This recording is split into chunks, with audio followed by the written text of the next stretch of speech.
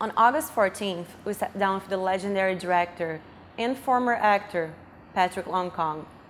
On September 2nd, we learned that Patrick had passed away.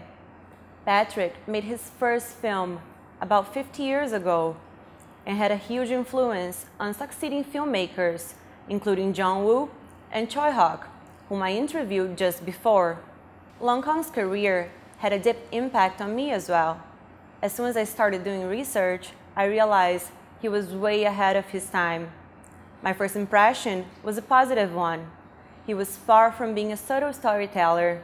Despite being ill, Lung Kong gave me the honor to interview him right after he was granted a Lifetime Achievement Award. Lung Kong's attitude towards criticism was perhaps one of the most important things I learned after talking to him. But his ability to tackle and explore delicate social issues that no other filmmaker would touch during his time is and will forever be inspiring to me. And I believe to anyone who's in the industry or who is able to appreciate a fearless film You're immensely influential pioneer of Cantonese language films. You have directed and written 14 films, as you've said. You were also a prominent actor, having a career that lasted about half a century. Mm -hmm. Patrick, if you could describe yourself using one word, what would it be?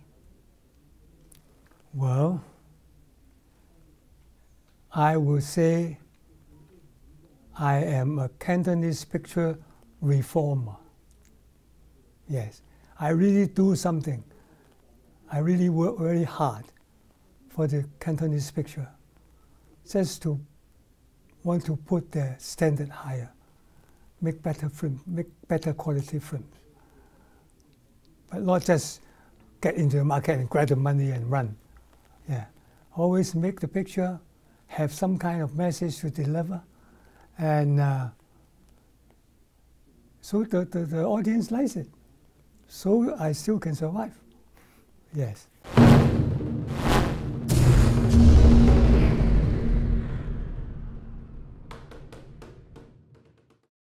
Patrick, you immigrated to the US in the early 80s. 82. What made you decide to make that move? It's a romantic move. Yeah? because I came over to get married. That's the most important part of it. Yes. Were you happy staying here and not returning? I love New York. Yeah. Beautiful. yes. You have said before that the Hong Kong's film industry needs the Chinese market, otherwise there's not enough financial support. How do you think that changed the actual content, the movies that come out of Hong Kong and its movie industry? Now, your question is quite complicated. Let me separate it into uh, maybe a few. Uh. Mm -hmm. Firstly, talking about investing money in Hong Kong movie. Mm -hmm. Actually, making movie needs a lot of money, a lot. No matter how small a budget, even nowadays you start a new, uh, say, low budget film, easily costs you millions of dollars. Absolutely. All right. Why I say uh, we need the Chinese market because in Hong Kong, you make films, you only can sell certain certain nearby Southeast Asian countries, and that you won't get back that much money. So if you can get support or get capital from some invest some investors, then of course you have bigger money you have bigger money, you can make bigger films, you can make bigger money, that's all. That's the main point. If you don't have the money, you can. You can make the very low, low budget local films. And then, uh, of course, you cannot get into a bigger market. That's why. You always wanted to put an emphasis on social issues with your movies. What were some of the most important issues that you think you touched with your works? if you want to understand more clearly, you have to study more about Lung Kong's film mm -hmm. or mm-hmm. his past history. Yeah. Um, what I really want is that every picture I make must have a clear subject, must have something, some kind of message to tell the people. Because I make films not only by entertaining them, but also that I hope I can influence them to pay attention to the social issue. Mm-hmm. When there's a social problem, stay there, which is no good. So, sooner or later, you will have trouble with that. Mm. And what do you have to say to those people that in the past called you too preachy or that had negative criticism towards mm. your work? Mm. I don't mind. Yeah. Yes, because uh, the more they say I'm too preachy, I will say more. Because uh, if they can say bad things, why not I can tell something good? For example, Bible. Every good word they it, why, why, why not? Why, why you criticize them is bad? It's nothing bad. You should, you should learn from them because those are the good things which you can make a better world and live in a better place. A lot of your movies were very controversial, and that made you have a difficult relationship with the censorship and with the critics. How did that influence you creatively? I don't care them. I don't care about them too much, because if you care every word they say, you can never make a movie anymore, or make a full movie I like. Yeah. So usually I make films I like first. I'm not making for the critics. I make it for and then why, why should I like that film? Because I have something important or, or message or whatever to tell them. That's why I make the film. So I, I don't quite care about the critics. Uh, controversial, yes. Say, for example, I make Hiroshima 28. I tell people how terrible it will be if there's a nuclear war happens in our world. They say, oh, yeah, yeah, yeah, yeah. Never mind about them. I tell my own message. You listen, you listen. You don't listen, never mind. And speaking of which, now it's the retrospective of your career. What is your favorite piece, favorite thing that you have done? All right. Actually, I only direct 14 films. Mm-hmm. Any picture I don't like, I will not make it. In other words, the 14 films I direct or written or produced by myself, I like them all. I don't put them in which no favorite. No favorite. That's the thing I want to tell. That's the thing I want to make, and that. But usually, my films make money too. Yeah. Yes, they break a lot of records. I use I use the same Cantonese picture.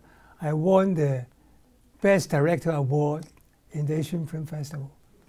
I used the same kind of Cantonese picture. I won the best picture in, uh, in Singapore. Uh, now, even now, nowadays, they're still looking my old picture, and they like it. They give me a lifetime achievement award. That's Lung Kong's picture. So, so I like them all. Mm-hmm. Great. Thank you so much. I thank you.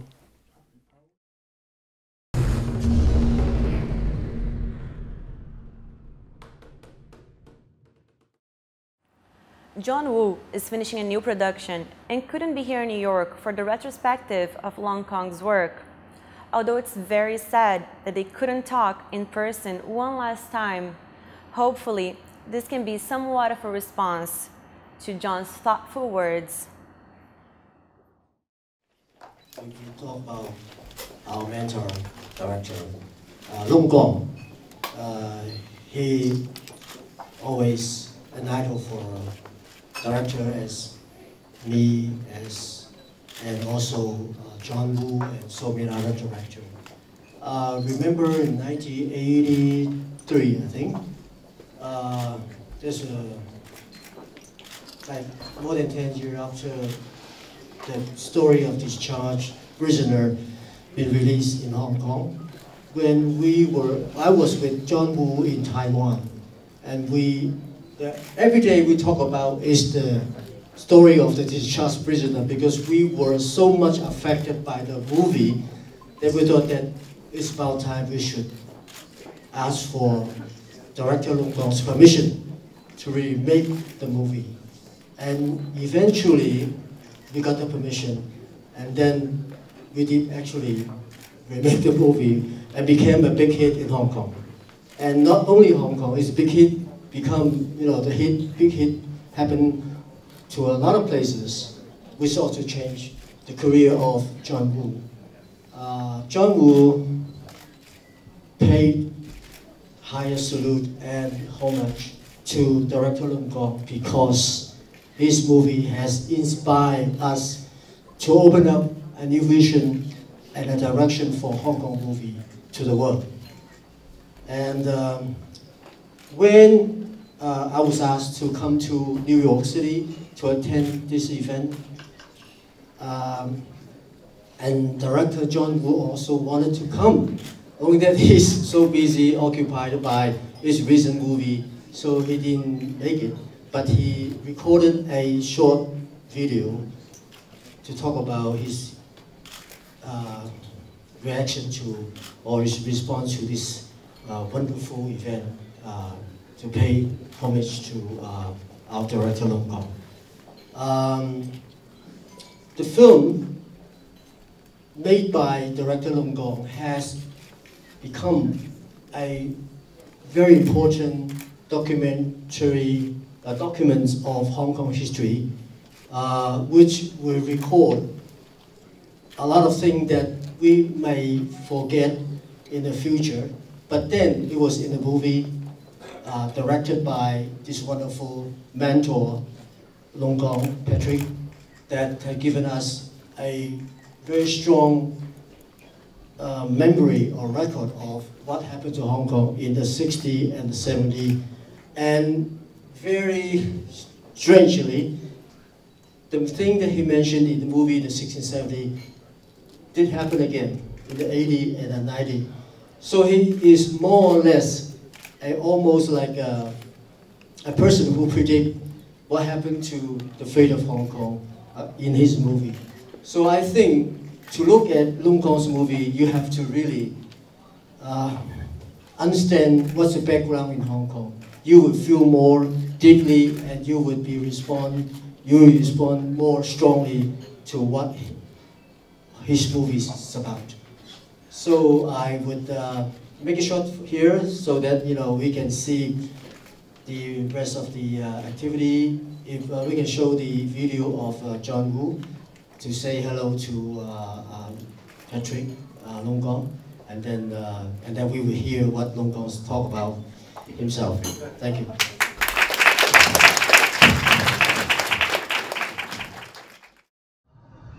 Lung Kong 先生，你好。啊、我稱呼你為先生，因為你係我嘅老師，你係我非常好嘅老師。好抱歉啊、今日我仍然係仲係喺北京拍緊戲，所以我冇時間過嚟探望你。但係你要知道，我係一直好掛心，同埋一直係啊啊，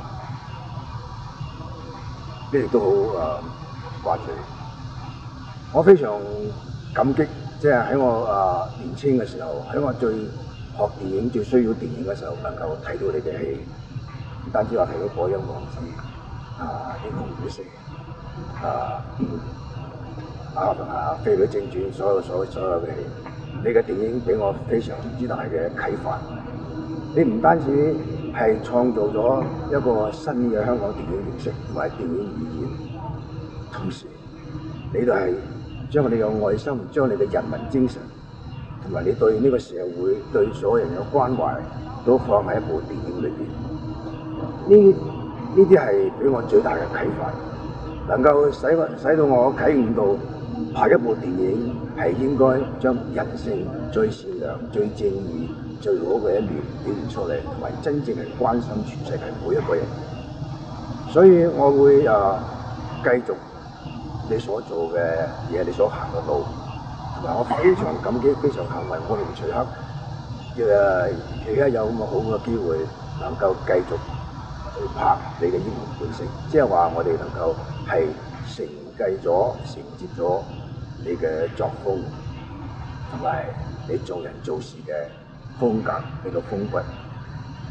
你多多保重，同埋希望你早日康復， 同埋你要放心，因為我哋會係繼續行你個路，同埋你永遠都係我心中嘅偶像，永遠都係我最崇拜嘅世界導演之一。啊，好，祝福你啊！希望啊能夠早啲聽到你嘅聲音。OK，非常掛念你，請保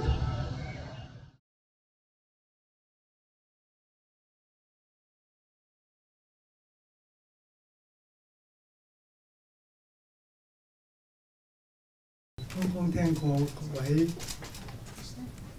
所講龍方嘅好話，聽到我心都跳咗出嚟，因為我實在唔知道我自己做過呢啲咁好嘅事。喺誒六十年代咧，我俾人哋無端端升咗做粵語片導演。喺嗰個時候咧，就係、 粵語片最壞嘅時刻，或者換句話講咧，嗰、個時期啊，粵語片根本就係面臨淘汰出局。點解會俾人淘汰出局咧？主要就係好多嘅產量失咗 quality 嘅控制，喺 free market 裏邊，只有壞得好壞嘅電影先至唔可以 survive 嘅。 唔係講粵語話嘅 film 誒會會會會會被淘汰出局。咁當時咧，包括我自己嘅製片公司，包括所有嘅同業人咧，就好似俾我一個 challenge，一個挑戰。咁你拍俾我哋睇下啦，你咁叻。由嗰陣時起咧，我用盡全自己全身嘅能量拍咗十四個戲，但係呢十四個戲裏邊咧，都係完全唔同嘅一種主題。 而且咧，亦都唔準我自己重複我自己拍過嘅主題，所以我講話我應該講到呢度就夠啦，因為各位仲有好多嘢要聽講，聽我講嗰啲話，咁咧好多謝你哋今日嚟，多謝你哋上面，thank you。 Uh, with great humbleness and high respect, I present this wonderful award, lifetime achievement to our wonderful teacher, Dr.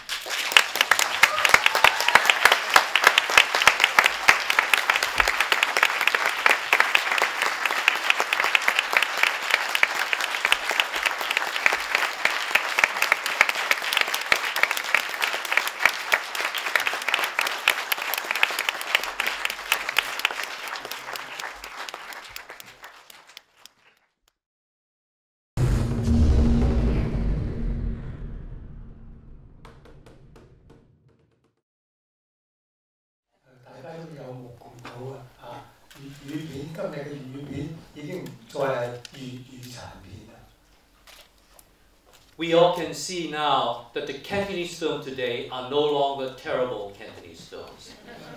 诶、例如啊，周星驰嗰啲好好笑嘅诶、喜剧啦， For example, the very funny comedies by Stephen Chow. 如果佢唔讲粤语咧，我谂佢收视一半至唔止。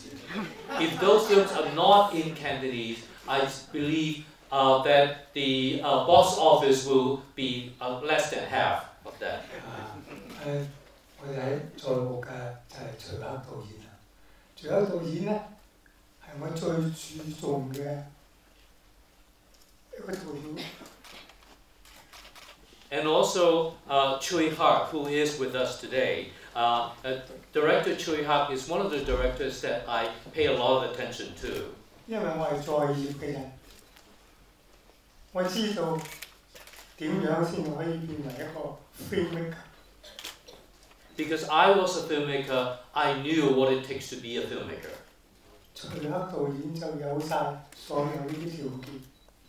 And Tsui Hark has all those uh, qualities.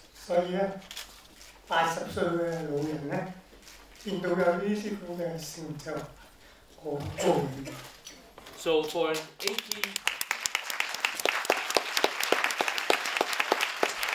So for an 80 year old man like me, seeing young men with such achievement, I'm, I'm very happy. 所以最后一句话其实咧，粤语片系粤语拍成嘅电影，唔系粤语产片。 So my last word will be uh, Cantonese films are films made in Cantonese, and uh, they are not terrible films made in Cantonese.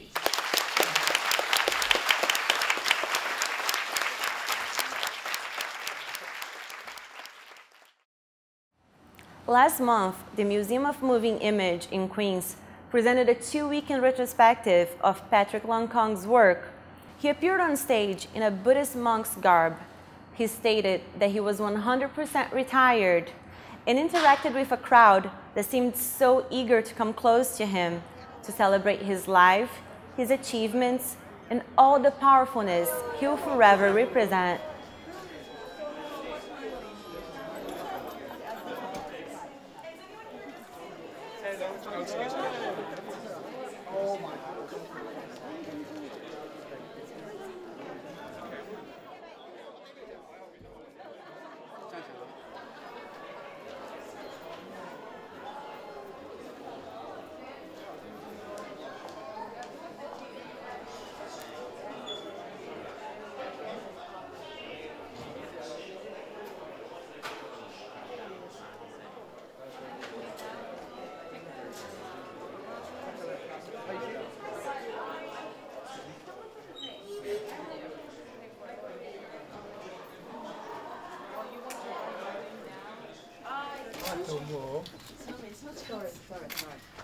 Richard.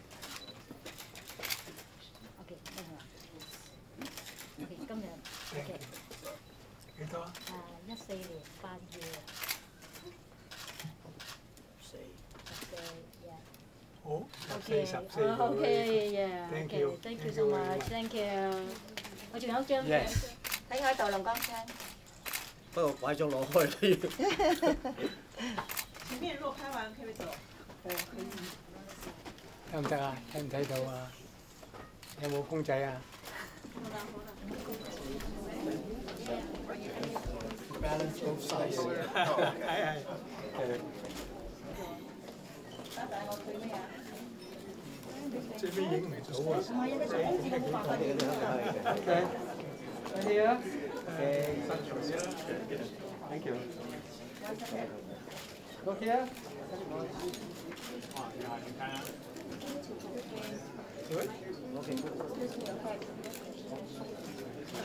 You here? One more. Everybody. Everyone look this way. This way out. Thank you. Thank you. Smile. Thank you. Thank you very much.